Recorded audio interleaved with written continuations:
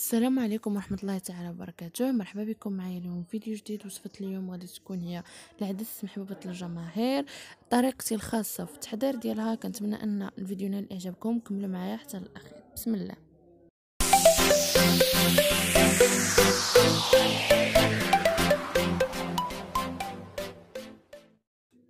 أول حاجة هنا عندي العدس منقية ومغسولة بيان سور. الكمية المطلوبة واللي غادي ديروه نتوما عندي دايرة هنايا في كوكوط من بعد غادي نزيد عليها البصل مقطع.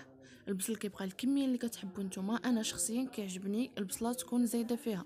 بغيتو تنقصوا كتنقصوا أنا هنا عندي حبة كبيرة. نتوما داكشي ليكم الاختيار.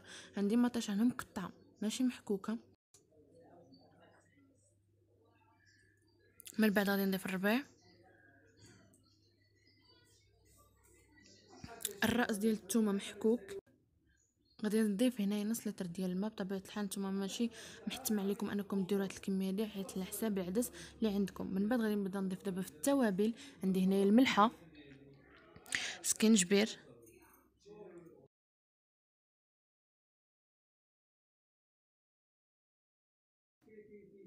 غادي ندير دابا التصفيرة أو الخرقوم. طبعا الكمية ماشي بالضرورة أنكم ديروها نفسها. بعد غادي درت هنا الكمون. وآخر حاجة اليبس من بعد ما درت العطرية ديالي كاملة غادي نردها فوق فوق النار هادئة. أه شوف لا الشكل ديال البصلة ولا العدد الكمية ديالها كيبقى على حسابكم. أنا هنا تقريبا ضفت كاس آه نص كاس ديال العنبة ديال الزيت.